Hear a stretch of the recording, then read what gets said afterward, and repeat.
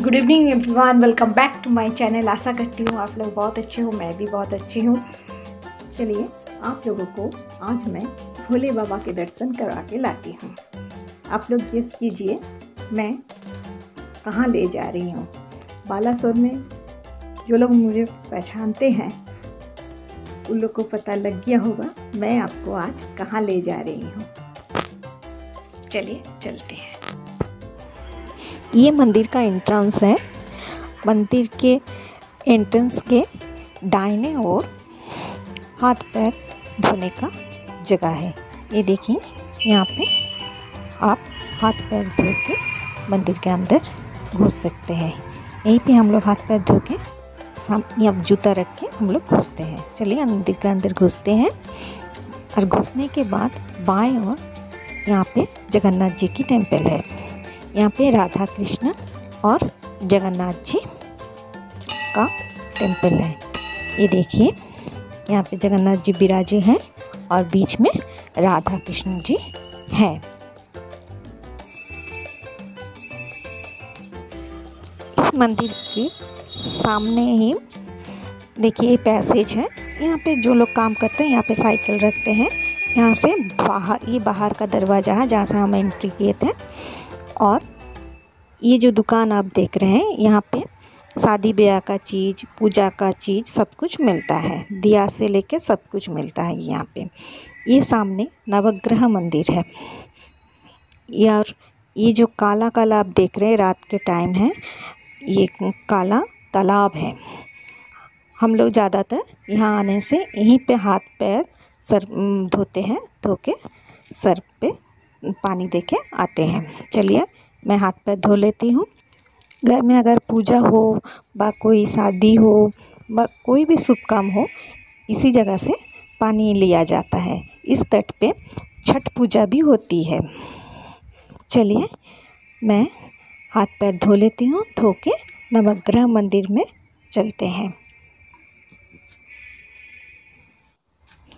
ये देखिए, ये नवग्रह मंदिर है।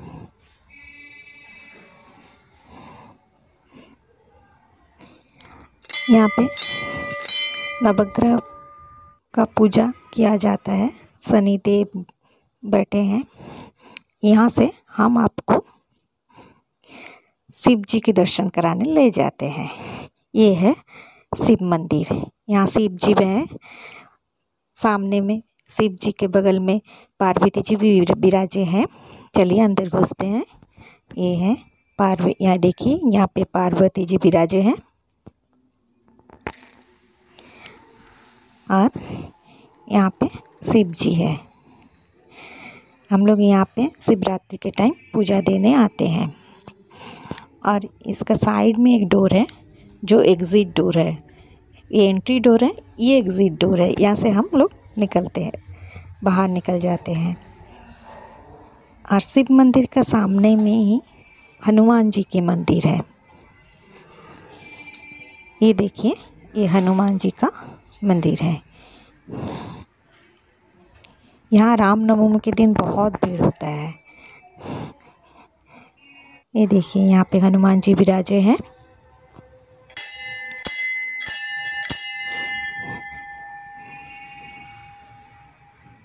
हनुमान जयंती बोलिए, रामनवमी में बोलिए, बहुत भीड़ होता है। सावन मास का सोमवार में भी इस मंदिर में बहुत भीड़ होता है, इसलिए मैं नहीं आ पाई। चलिए, ये मेन डोर है शिव जी, शिव मंदिर के घुसने का।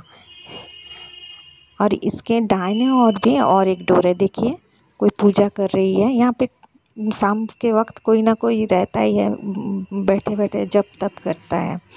ये देखिए, ये ये जो काला काला देख रहे हैं, ये मंदिर का रसोई घर है और यहाँ पे बासंती पूजा होता है। इस मंदिर का अंदर बासंती पूजा होता है और दुर्गा पूजा मंदिर के बाहर में होता है। और ये जो पेड़ है, ये पेड़ पूरा मंदिर को छाव देती है। शिवरात्रि के टाइम हम लोग जब लाइन देखे खड़े होते हैं, तब इसी पेड़ के नीचे हम लोग आराम से खड़े हो सकते हैं।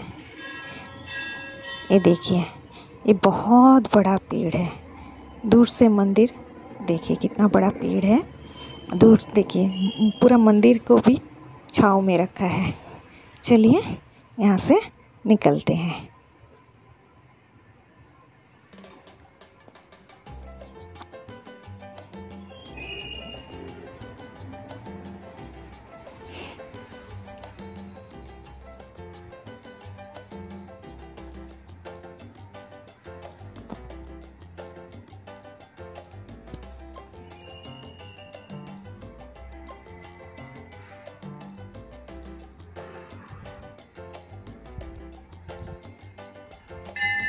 जाते वक्त देखिए, आने के बाद दुकान बंद था, अभी खुला है। चलिए, मंदिर से निकलते हैं। यहाँ जगन्नाथ जी हैं। जगन्नाथ जी को प्रणाम करते हुए निकल जाते हैं। ये है मेन रोड जहाँ हम लोग जाना आना करते हैं। और यहाँ नंदी जी बैठे हैं। ये देखिए, मंदिर के सामने नंदी जी बैठे हैं। ये मंदिर है बालासुर का छाड़ेश्वर मंदिर। आप लोग को पता चल ही गया होगा। मैं रात को ठीक से दिखा नहीं पाई थी मंदिर के सामने इसलिए नेक्स्ट डे सुबह आई हूँ। ये दूर से ऐसा दिखता है। वही जो उस तरफ़ उस तरफ़ में जो गाड़ी जा रही है, ये रानी पटना छक के तरफ़ जाता है। और ये जो लाल गाड़ी इस तरफ़ जा रही है। ये गाड़ी आपका दो रास्ता है, वहाँ पे जाके डिवाइड हो गया है। एक रास्ता नया बाज़ार की तरफ़ जाता है, एक रास्ता मेन रास्ता के ऊपर जाता है। मेरा ब्लॉग अच्छा लगा तो आप सब्सक्राइब कीजिएगा लाइक कीजिएगा शेयर कीजिएगा। आज इतना ही। बाय